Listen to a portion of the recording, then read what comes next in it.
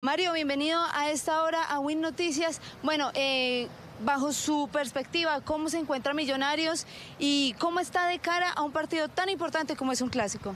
Hola, ¿cómo te va?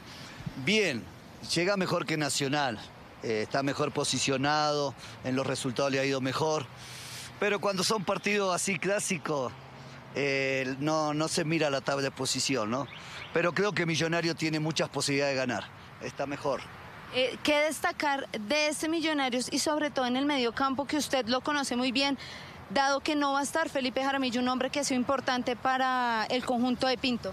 Bueno, destaco más que nada el trabajo del entrenador, porque básicamente es el mismo equipo con uno o dos refuerzos, no de nombre, pero que le han rendido.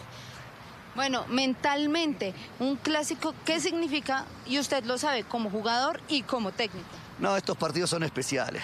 Yo sé que los jugadores obviamente van a cobrar un premio, quizá no simple, doble puede ser, pero yo cuando juego contra Nacional es el orgullo. Es el orgullo, la satisfacción, la dignidad, porque estos son partidos especiales. Acá hay que ganar, acá no sirve el empate.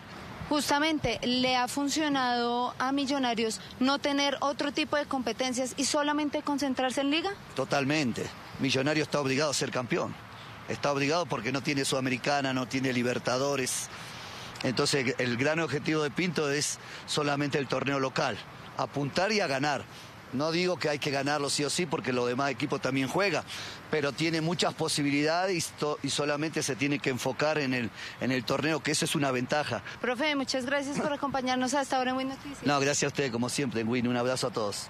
Bueno, eh, son las impresiones de un hombre histórico del conjunto Millonarios que, como ya lo decíamos, enfrentará aquí en el estadio Nemesio Camacho del Campín a las 5 de la tarde a Nacional. Dos realidades bastante diferentes. Millonarios como líder de la Liga Águila con tan solo una derrota y Nacional que buscará los tres puntos para levantar cara en esta Liga Águila.